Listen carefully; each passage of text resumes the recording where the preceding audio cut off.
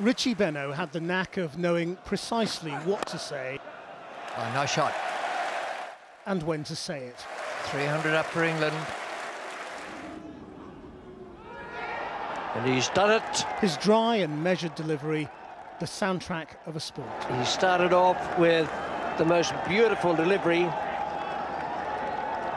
Gatting has absolutely no idea what has happened to it. He still doesn't know.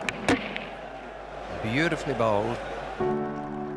His father took him to his first game when he was nine, igniting a passion that took Richie Benaud to the highest levels of cricket. A leg spinning all rounder, he began his Test career in 1952. He became the first player to score 2,000 runs and take 200 wickets. As Australian Test captain, he never lost a series.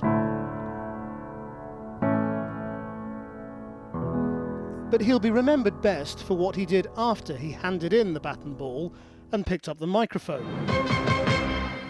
Hello, welcome to the highlights. He became one of the best known sports commentators in the world, loved by millions around the cricketing globe from Australia to India, the West Indies to Pakistan, and of course, England.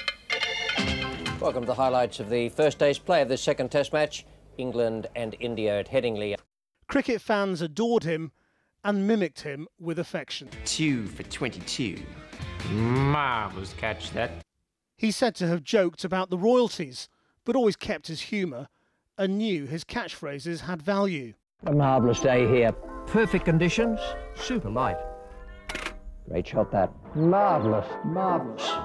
He signed off on live British TV with the 2005 Ashes, but he carried on working for Channel 9 in Australia until two years ago.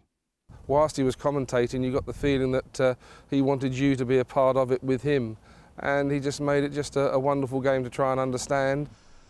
Well, he was a lot of things. Uh, um, apart from being a very good cricketer and an excellent commentator, he was a gentleman.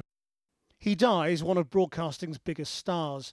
But Richie Benaud was a modest man who repeatedly turned down recognition. Who knows what he'd have made of today's offer by the Australian government of a state funeral. That's what it is, as far as I'm concerned. Time to say goodbye. He said of his life's work, as a guest in someone's living room for the long hours of a cricket day, you should try not to irritate them. I've loved every moment of it. And uh, it's been a privilege to go into everyone's living room throughout that time. What's even better, it's been a great deal of fun.